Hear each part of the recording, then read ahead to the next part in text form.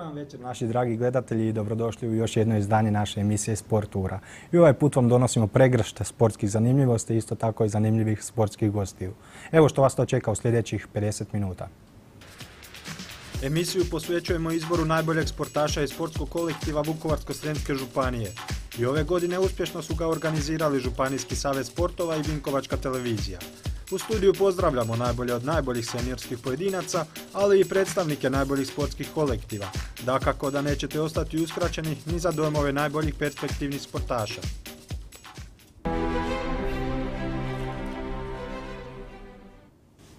A kao što smo i rekli, s nama su najbolji od najboljih. S nama je Mato Brandt, dobro nam došao. Te Vanessa Šegec, također dobro nam došla. Hvala. Koliko vam znači odmah na početku da vas pitam ovako priznanje što ste izabrani kao najbolji?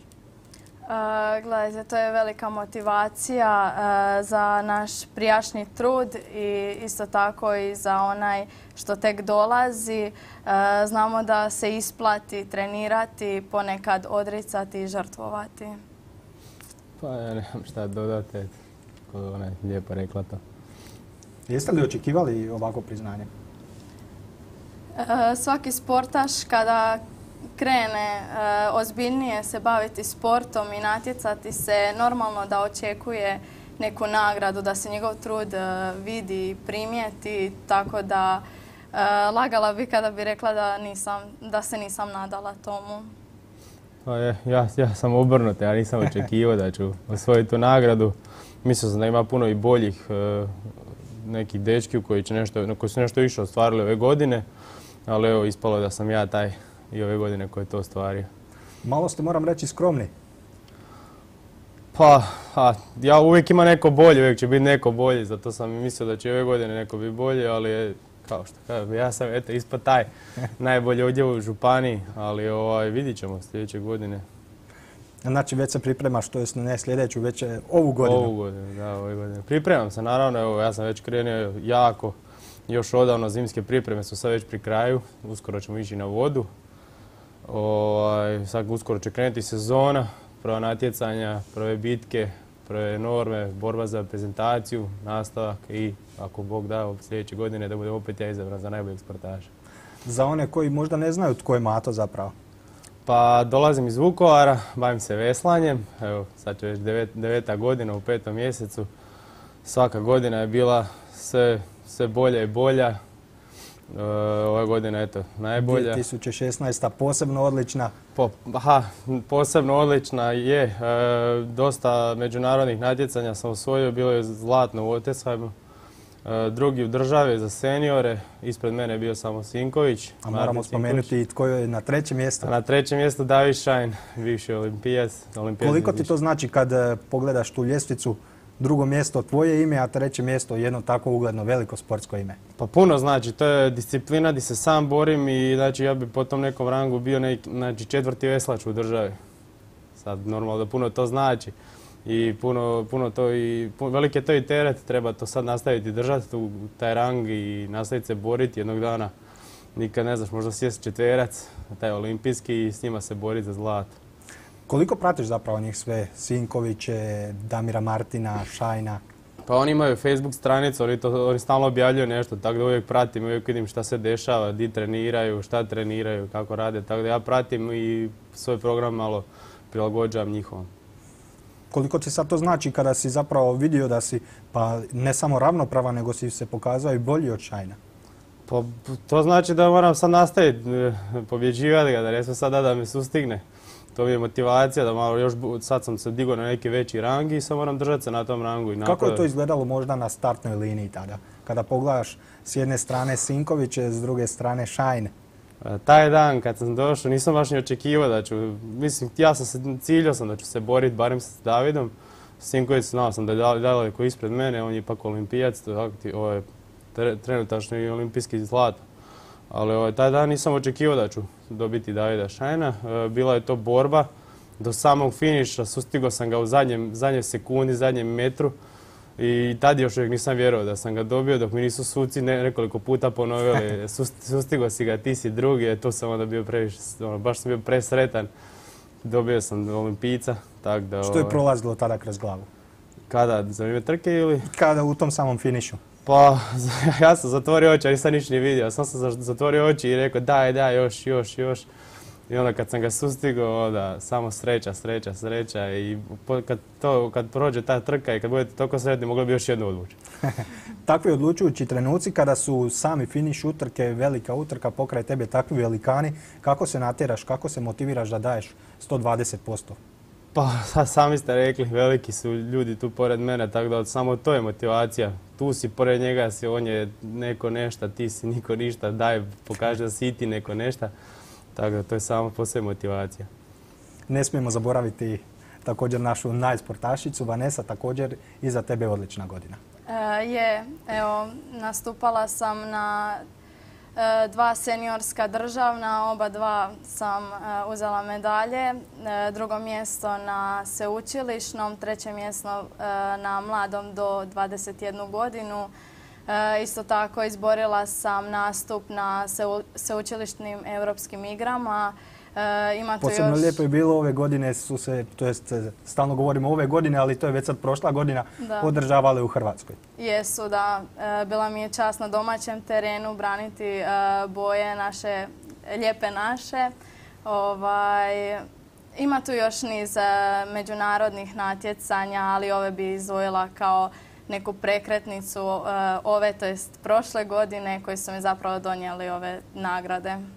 Koliko se naporno radilo za tako velike rezultate? E, jako naporno, šest puta tjedno uz e, pojačane kondicijske treninge i treninge snage. E, uz to studiram, studiram ekonomiju u Puli. Kod tebe je da jedna posebna ta situacija.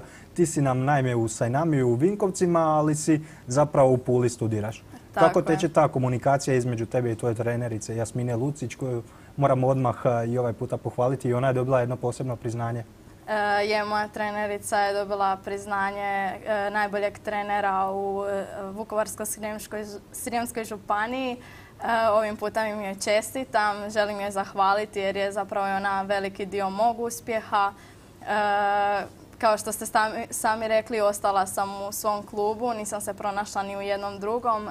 U Puli treniram samostalno, trenerica mi sama sastavlja svoj plan i program po kojem treniram.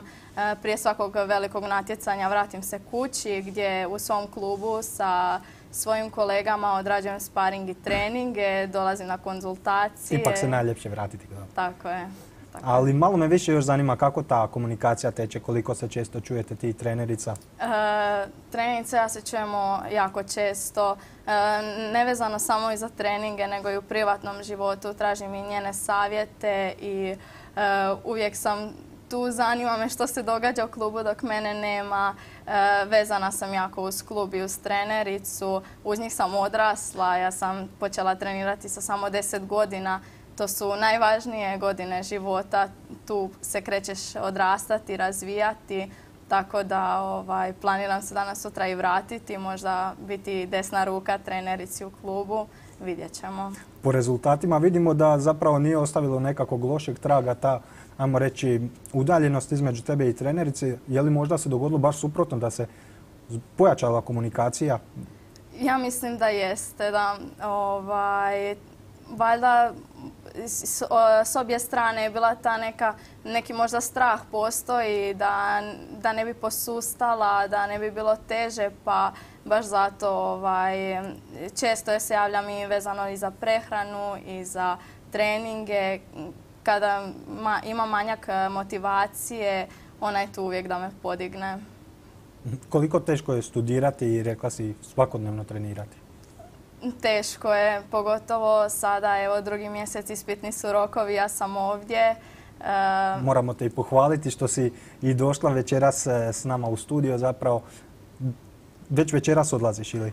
Tako je, nakon ovoga sat vremena imam autobus e, za Pulu, ujutro već imam ispit, e, jedan od važnijih, ali ovaj, sve se može kad se hoće. E, imam dovoljno vremena i da treniram i da učim. Ispuniš indeks. Tako je, tako je, do sad sam sve dala u roku, pored toga još i radim, tako da sve se može kad se hoće prilično zatrpano, čini mi se. Kod tebe dan traje 26, 7, 8 do 30 sati. Od prilike, da. Što Mato radi kada nije na rijeci? Pa ja studiram i radim. E, zadnja godina trgovine u Vukovaru. E, radim kao student. A, osnovno imam teretana. Ja, ja imam dva put dnevno trening. Ujutro bude simulator veslanja preko zime, ako je vrijeme za na vodu, nas ide na vodu, a popodne teretana. Znači nije smetalo što je bilo zaleđeno ništa? Pa meni nije, ja imam unutra dvoranu, ali ovaj, to što zaleđeno meni to ne smeta. Ja čekam da se odledi, onda ja pićem. Dobro, i kako ti ide na faksu, što smo rekli? Pa ja sam sad zadnja godina faksa, ostao mi samo završni, tako da sam praktički gotov. Tako da s tim sam se riješio, ali dok sam išao na faks, to se sve organizira i onda ide samo od sebe. Tako da nikad Koliko teško je bilo sve to uskladiti? Kažeš pa čak i dva puta dnevno trening. Pa dok sam imao faks, onda ovisi kako kad imam faks, namjestim si trening, uvijek, sam, uvijek mi je trening nekako bio primarno prva stvar.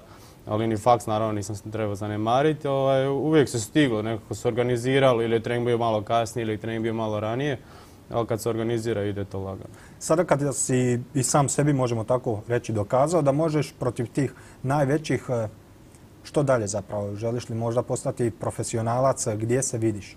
Pa sad sam zadnja godina mlađih seniora i u toj godini gdje još uvijek imam neku šancu pokazati se prije što čiću seniore. U seniorima je jako, jako teška konkurencija, ovdje je još neka kao malo lakša konkurencija.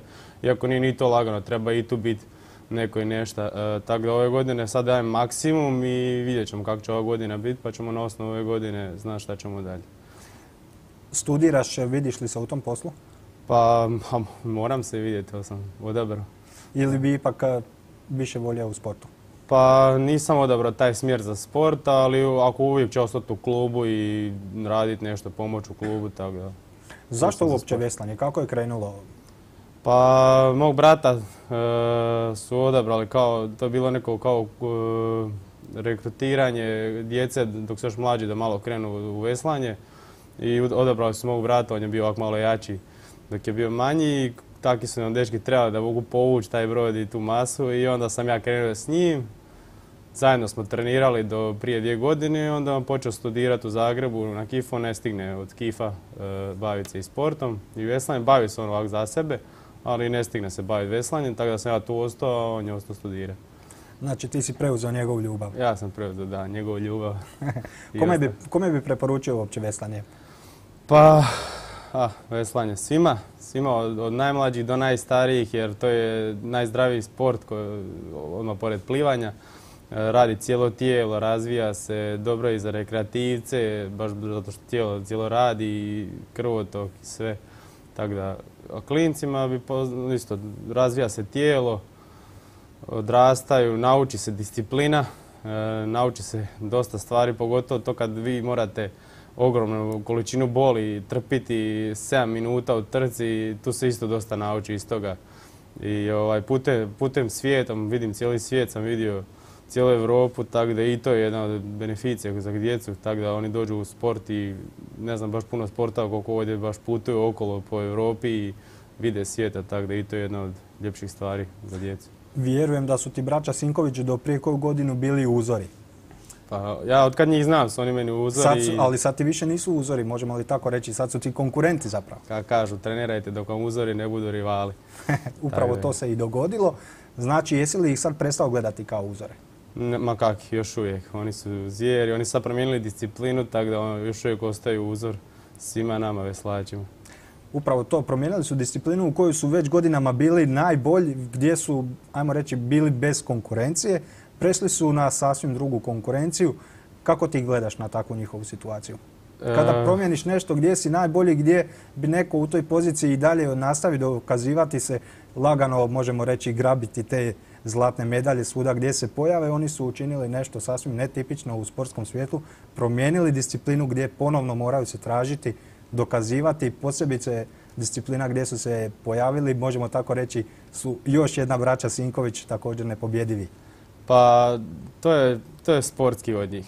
Jer ovaj, većina bi, što kažete, ostali bi u toj disciplini i tu bi grabili koliko mogu. Oni su tu u toj disciplini odradili sve. Zlato na olimpijadi više se ne može.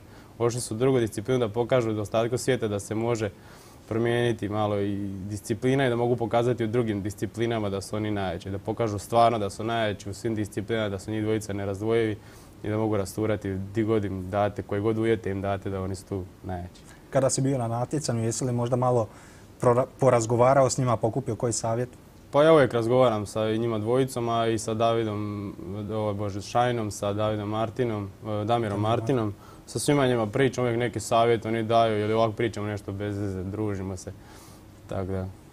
Kakva je stvar kod tebe, Vanessa, imaš li ti možda nekakve uzore? E, pa znate kako, najčešće su uzori oni od kojih, od kojih najviše i učimo, počevši od trenerice, prijatelja, e, prijatelja iz kluba, ne mora osoba imati velike rezultate da bi ti bio uzor. E, ako bi gledali s te strane, naravno tu su sestre Zaninović, e, ima tu dosta cura izvana koje su dostojne protivnice našim sestrama, tako da može se od svakog ponešto naučiti. Tekvando također kao veslanje nemamo često vidjeti na malim ekranima. Kako je krenula tvoja ljubav? Kako si se ti zapravo odlučila upravo za tekvando? kao što sam već rekla, to je krenulo s deset godina. već je bilo vrijeme da se krenem nečim baviti, da odaberem svoj put i ugledala sam plakate, došla je trenica podijeliti letke i tako sam krenula. Od uvijek sam naginjala borilačkim sportovima i zapravo od prvog treninga se rodila ljubav. Da koja traje, traje i traje. I traje i iz godine u godinu je sve veća zapravo. Rekla si da bi se čak, čak se već vidiš kao treneričina desna ruka? Da, tako je. E, voljela bi joj pomagati, e, volim raditi s djecom, e, vidim zapravo koliko i njoj znači stvarati tolike potencijale, pa zašto ne bi pomogla u tome? Znači li to zapravo da već skoro te možemo očekivati u trenerskim vodama? E, ne još. Ne, mlada sam. E, evo, ostvarila sam velike rezultate. To mi je motivacija. E, mislim da mogu i bolje i više i za sada još ne. Jeste li si možda zacrtali posebno nekakve planove, ciljeve, to jeste za ovu 2017. godinu? Evo ja bih krenula sredinom trećeg mjeseca imam natjecanje međunarodno u kojem e, nastupam nakon e, dva, tri mjeseca pauze. E, tu bi krenula, nastavila bi prvog četvrtog, imam državno prvenstvo. I dalje ćemo vidjeti natjecanja G1 turniri izvan države. veliki je tu trud i zapravo vidjet ćemo. Pa ja sam si dosta toga zacrtao. Prvo trenirati ko lud više nego ikad. E, onda dokazao da sam najbrži samac od nas mlađih seniora. I na kraju godine ponovo braniti titulu, ovaj, drugo mjesto i približiti se Sinkoviću još malo ako je moguće. E, krajem godine, deveti mjesec, to je krajem sezone, imamo, to je sad novo nadjecanje e, europsko za mlađe seniore tu, bi se, tu, mi je poanta se pokazati jer tu mogu, ovaj, tu, to je malo manja konkurencija nego na svjetskom. Tako da tu mi je poanta pokazati se na kraju, dati svoj maksimum na te regate. A imate li možda neke daljnje planove već koje želite sigurno ostvariti nakon ove godine već? Evo ti si nam već rekla, malo se vidiš eh, kasnije u trenerskim vodama. Ko tebe? Pa ja imam plan sad završiti ovaj fakultet i onda otići na još plus dvije godine usput veslanje nastaviti se baviti, a vidjet ću poslije ove godine kako ova godina bude vidjet ću, ostati tu aktivno se baviti, nastaviti profesionalno ili ću se ostati u rekreativnom dijelu. Evo, čuli smo znači najsportaš, najsportašica, oboje studirate, oboje naporno trenirate. Ima li vremena uopće za još to? E, ima, uvijek se nađe vremena. E, kada e, dobra organizacija, zapravo je pola puta do uspjeha. E, kao što je kolega rekao, uz posao i uz faks e, se zapravo usklađuju treninzi koji normalno nikada ne smiju ispaštati, ali isto tako ne smiju ispaštati fakultet. Veliku ulogu tu imaju i prijatelji koji zapravo imaju obzira kada mi ne možemo, ali uvijek se nađe vremena i za izlaske i za druženja pa i za poneki izlet, kako kada. Sve je rekla ne. Stigne li se izlaziti kod tebe? Ma stigne se. Kad, god samo što izlazak e, dosta vrati vas nazad što se tiče treninga. Dan, dva izgubiš sigurno ako izađeš van. Pogotovo kak današnje djece izlaze, to odmah alkohola, To je tjedan dana te unazad. Odmah mjesec dana. Priličnu zahvalu daje svojoj trenerici Jasmini Luciće. Ja dajem zahvalu i treneru i predsjedniku kluba koji mi je rekao da mogu susti šajna. Tako da eto ovim putem mu zahvaljujem na tome. Ostalima nema potrebe. Za kraj ja bi vam, nisam vam ni čestitao na ovim priznanjima Hvala. i hvala vam što ste nam došli danas u emisiju. Hvala vam. Hvala vam.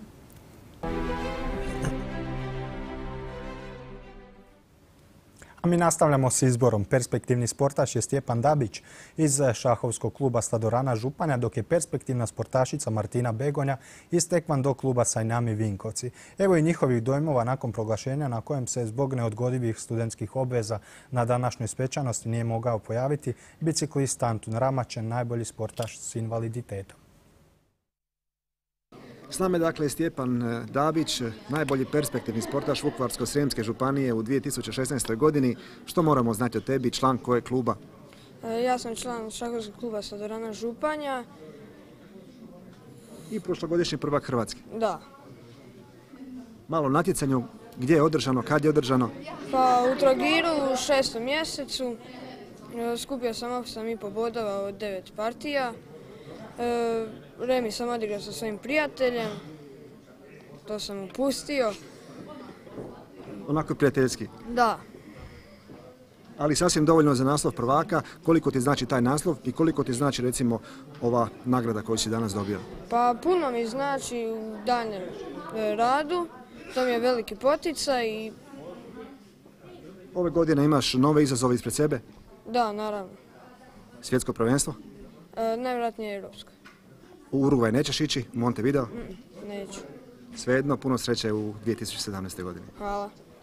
Dolazim te, iz Tekvando kluba Sejnami iz Vinkovaca. E, prošla godina je bila izuzetno naporna kao što je za svakog sportaša. E, osvojila sam mnoge turnire po državi i turnire G1 koji su izuzetno teški i velika je konkurencija.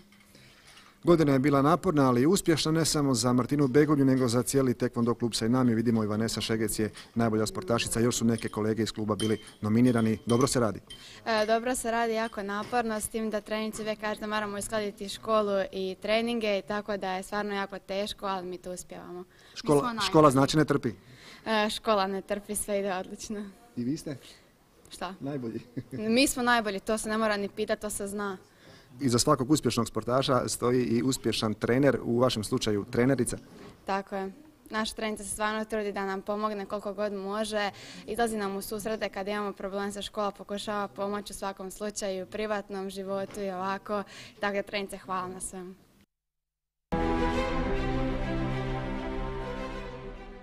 Vinkovački ženski judo nakon određene stvaralačke stanke opet je iskoračio na europsku pozornicu. Ekipa judo kluba Vinkovci prošloga je prosinca nastupila na europskom klubskom prvenstvu u Beogradu, na kojem je osvojila peto mjesto u konkurenciji 14 ekipa. U prvom kolu Vinkovački sastav izgubio je od ruskog New Streama, nakon čega je uslijedilo razdoblje iznimnog nadahnuća koje je rezultiralo dvijema pobjedama protiv francuskih sastava Maison Alfort i SGS, da bi u borbi za medalju od Ponto Comboa.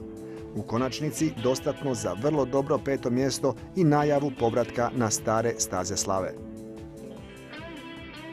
Rukometni klub Spačva iz godine u godinu napreduje u svim segmentima. Novi organizacijski iskorak kao neminovnost je donio i rezultatsko napredovanje. Natjecateljsku sezonu 2015-2016 vinkovački rukometaši zaključili su na petom mjestu u ukupnom poredku hrvatskog klubskog rukometa.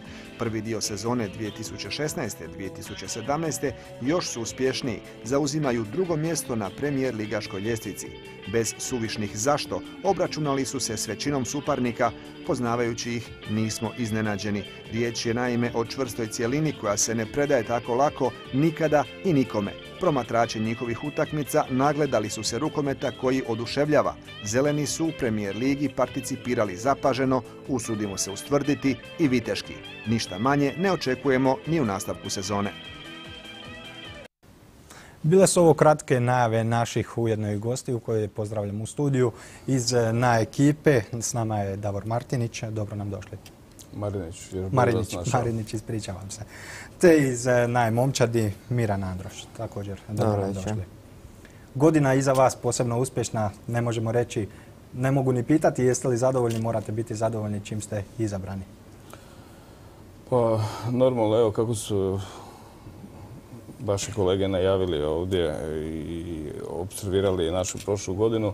Ovo je možda godina povratka. E, ovaj rezultat nije slučajan, nije prvi. Možda je zgodno naglasiti znači da, je Judo klub Vinkovci e, šest godina bio ekipni prvak Hrvatske, imao i prije znači, nastupe na europskim klubskim prvenstvima a ovaj sad posljednji je eto uz malo nesreće ili da je bilo možda malo samo više sreće mogli smo dobiti i to je zaraditi jednu evropsku medalju što bi bila stvarno kruna ovog našeg 45-godišnjeg e, rada i postojanja juda u Vinkovcima. Kako je izgledalo malo to natjecanje da nam opišete kako ste krenuli pa evo kao, ja osobno nisam bio znači, na tome natjecanju, ali imao sam priliku do sad i suditi takva natjecanja. Inače, ekipna, ekipna natjecanja, judo je, često se smatra samo individualnim sportom, ali nije, znači imamo Znači, samo u Hrvatskoj imamo prvu, drugu i, i treću ligu, plus Evropske lige, plus kupovi, Evropska, Evropska klubska prvenstva, znači izuzetno puno ligaških natjecanja i e, ta ligaška ili klubska natjecanja su izuzetno e, nabijena emocijama i to je puno drugačije i puno, puno, žešće sa puno više duha nego, nego rekao bih, individualni nastupi pojedinaca. Nije samo skup pojedinaca, tu je ipak i tim u igri. Nešto je, nešto je jedan kvalitet više. Koga izdvojiti na tom nastupu? Pa uistinu je teško koncentriramo se na naše natjecateljice. Ja bih e, spomenuo od e, našu natjecateljicu iz Vinkovaca, e, Tatjanu Starčević, koja je definitivno najbolja vinkovačka natjecateljica i najtrofenija, koja je bila i najbolja sportašica Hrvatskog judo saveza, koja je imala medalju sa svjetskih kupova, i što je posebno bitno, ona je, e, nije profesionalac, dakle ona je radnik na strunjači, radnik doma, e, majka i voli judo i za dva tjedna e, se bori kao seniorka na seniorskom prvenstvu Hrvatske i ove godine. Za Spačvu i za Spačve možemo tako reći još jedna uspješna godina. Pa može se reći da je uspješna, iako je bila malo nešto prošarana ozljedama. Moglo je nešto biti i bolje, ali može se reći da je donekle i uspješna. Prošla sezona, kako gledate na nju, znamo malo se smanjila liga, bilo je tu čak i napetosti, jedno vrijeme bili ste na tom rubu, kasnije u ligi za ostanak, prilično dobro je sve to išlo. Pa kažem, malo su nas te ozljede prošle godine poharale, međutim mislim da nikad nije dolazilo u pitanje opstanak u ligi. Imali smo dosta kvalitetnu momčad, malo, malo možda nismo imali sreću u nekim trenucima, ali sve je na kraju ispalo dobro i to sedmo mjesto, u konačnici smo s njim zadovoljni. Na početku kada bi vam netko ponudio to sedmo mjesto bili prihvatili ili, ajmo reći sad, za ovu tekuću sezonu? Pa teško je prihvatiti sredinu, niko ne teži sredini, si uvijek teže ka vrhu i što boljim rezultatima, tako da nekako to sedmo mjesto ne bi nikad prihvatio prije sezone. A boljih rezultata ove sezone ne fali? U svakom slučaju ove sezone smo puno bolje krenuli, malo smo dobili na širini i eto, poslužilo nas je što je ekipa zdravija, nije bilo nekih težih ozljeda i eto sad smo na drugom mjestu, na početku druge polusezone i nadamo se da ćemo tu i ostati. Mislilo se, možda ne znam, je li se mislilo u vašem kadru, zapravo u slačionici, da će odlazak Šijakovića, primjerice na kraju sezone, odlazak Kružića, bitno utjecati na rezultate? Pa svakako kad dodu dva takva bitna igrača da uvijek postoji neka sumnja da će biti lošije. Međutim, eto, uprava kluba se potrudila naći rješenja nekakav na njihovim mjestima, tako da smo dobili na mjestu Kružića Ljevaka iz Srbije koji je odličan dečko, ali igrač i iz Osijeka jednog mladog srednjaka koji se nažalost ozlijedio, ali eto imamo sreću pa je širina malo veća ove godine, e, tako da nije nikakvih problema bilo, a i možemo reći da nas malo i sreća mazi. Nadamo se da će tako nastaviti se i dalje, ali sreća vas baš i nije mazila protiv Rudara. Pa eto, prvo kolo. Otišli smo na vruće gostovanje u Rude. E, atmosfera je bila usijana još tamo od njihovog fašnika. Navijači su stvarali pritisak, malo su i suci tome podlegli. Držali se, nismo baš dobro prvi pola sata, u drugom dijelu smo se malo digli, ali nažalost nije bilo dovoljno. S vaše strane možda osobne, nećemo e, sada gledati općenito klub, nego vaša osobna sezona kakva je bila? Pa, ja moram priznati da sam e, definitivno zadovoljan e, svojom sezonom. Malo da nam se pohvalite rezultatima. Ovaj, ja sam još uvijek aktivni natjecatelj, pa je to možda zgodno za ovu emisiju. Znači, kolega Zdenko Grgetić i ja smo u 2016. bili treći puta za redom prvaci Hrvatske u Katama, u seniorskoj konkurenciji. S obzirom na moje godine očekivalo bi se da je to veteranska konkurencija, ali ne. Kolega isto godište. Znači, u tom dijelu jednostavno svi mi imamo nekakvu potrebu biti u kimonu, jer 45 godina je predug period da bi se to samo tako napustilo. Evo, ja bi iskoristio jednu malu digresicu, ako nije problem. E, htio bih napomenuti da je ove godine 45 godina od osnutka, službenog osnutka judo kluba Vinkovaca, Vinkovci i da su e, tri člana e, judo kluba Vinkovci još uvijek aktivni kao judaši, svaki na svoj način. Eh, gospodin Ivan Županić je nacionalni sudac prve kategorije, znači iz prve Vinkovačke judo škole. Gospodin Tomislav Čuljak je isto član judo kluba Vinkovci i počeo je skupa dakle, sa Županićom i sa mnom u prvoj Vinkovačkoj judo školi. A 2016.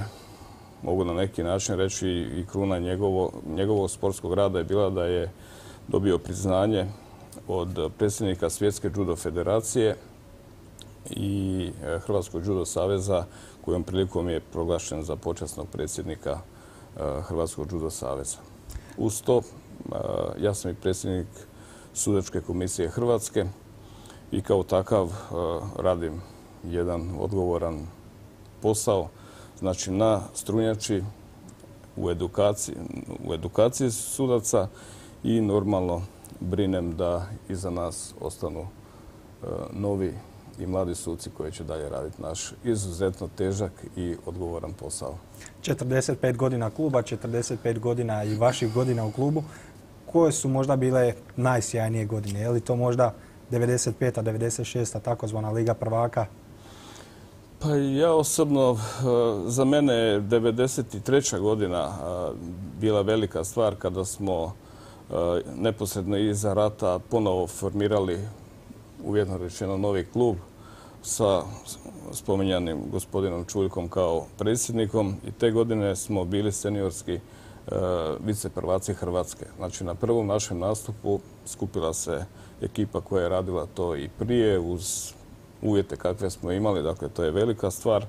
A ja osobno bio sam na ovako nekakvom sličnom mjestu, samo jedno 200 metara dalje, 76. sam, danas 76. sam bio najbolji sportaš Vinkovaca. pa evo, malo podsjećanja na ta vremena. Kako gledaju mlađi natjecatelji sad kad vas vide? Kako reagiraju?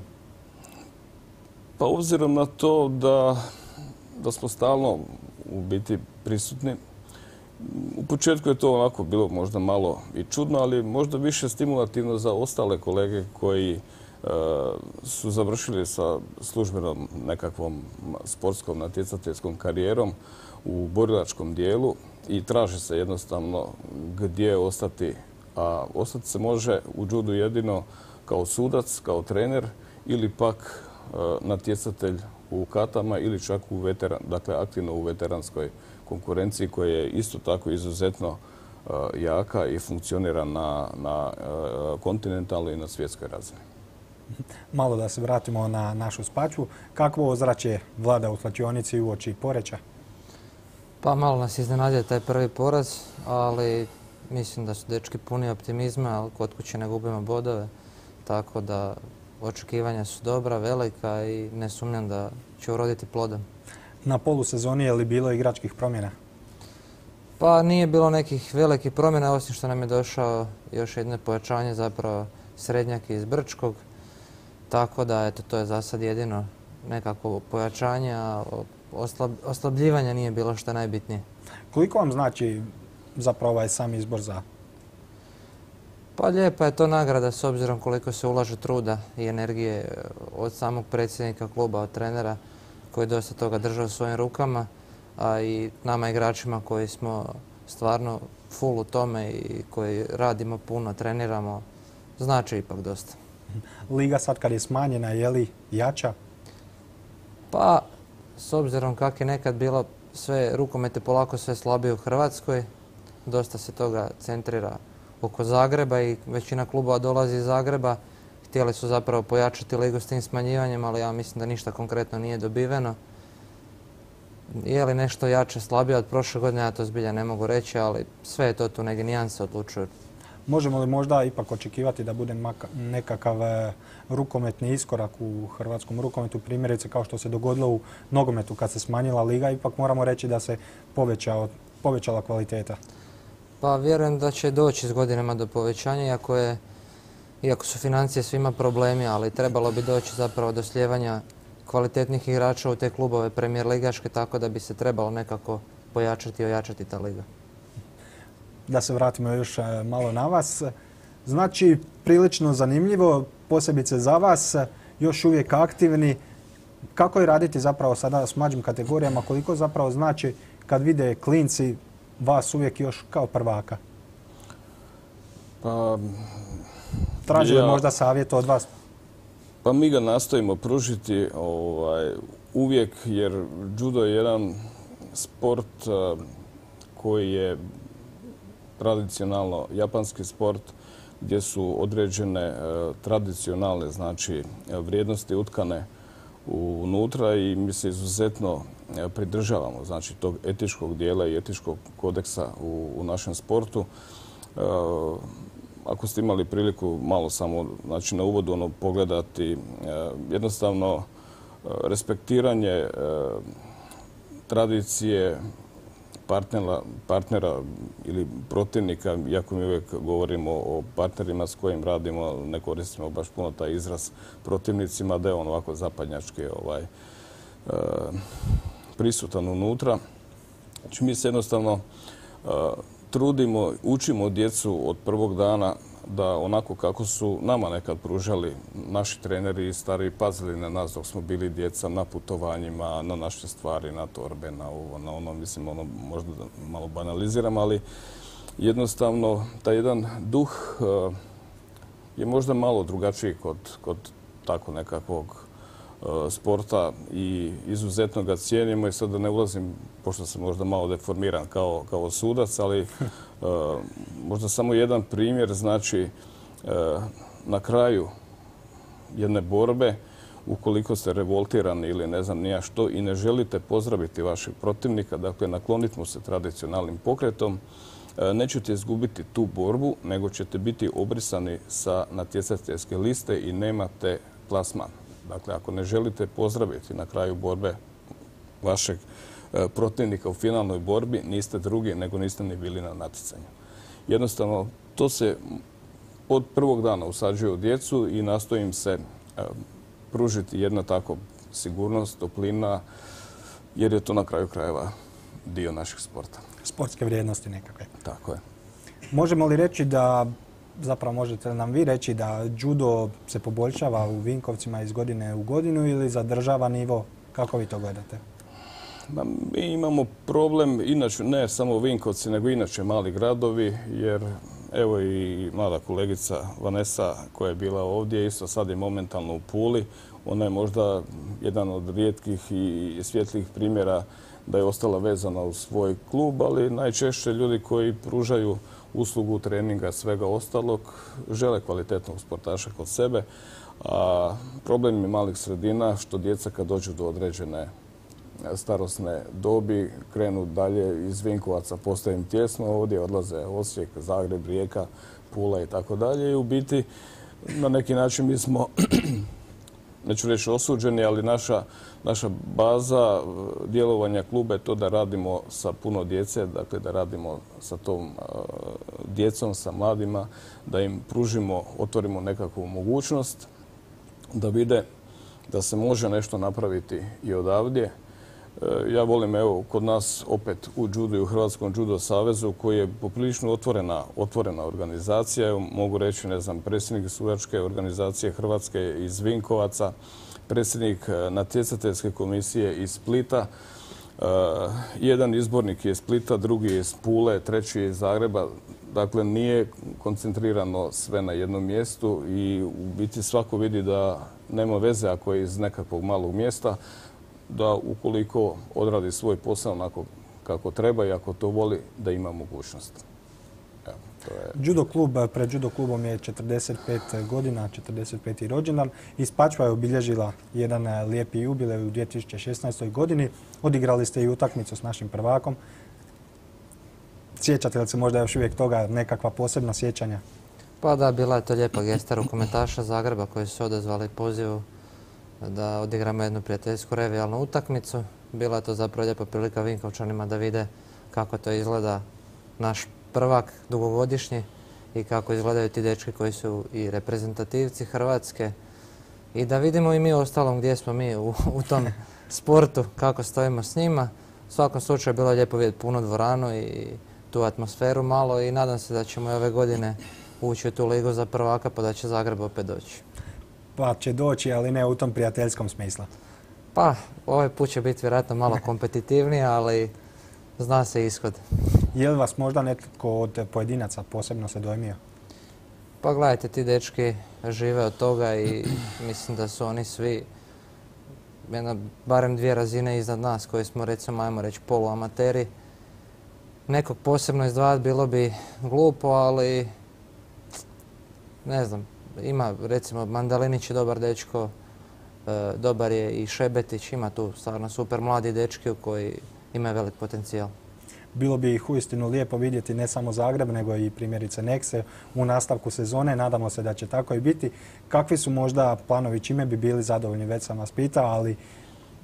Pa evo, mi bi bili zadovoljni bar da uđemo u tu ligu za prvaka. To bi sigurno bio iskorak od ovih niza godina u kojima smo bili u nekoj sigurnoj sredini.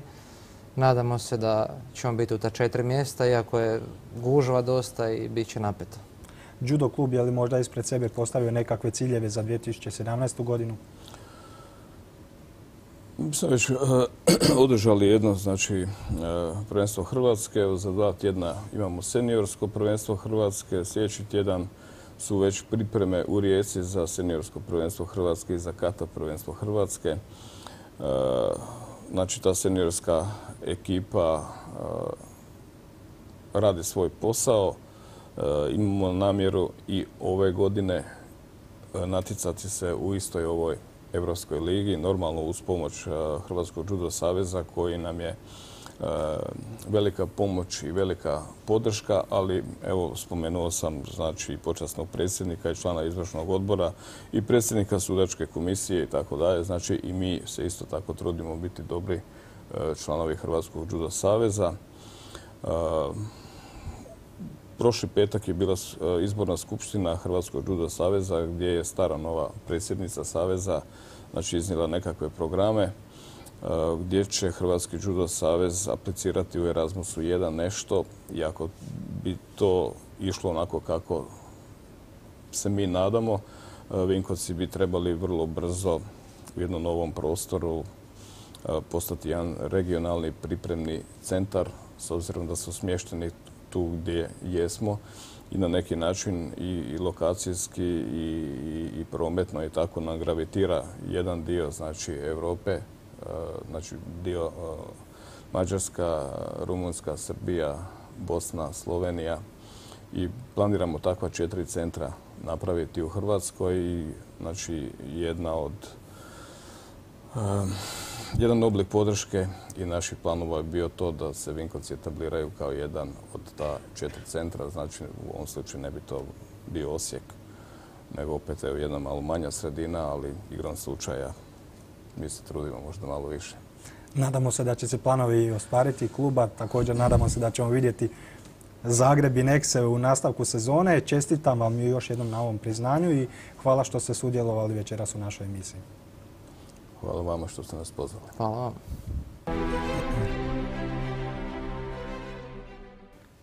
I bilo je ovo sve za večeras. Mi smo ponovno s vama za tjedan dana. Ostanite i dalje uz program Vinkovačke televizije.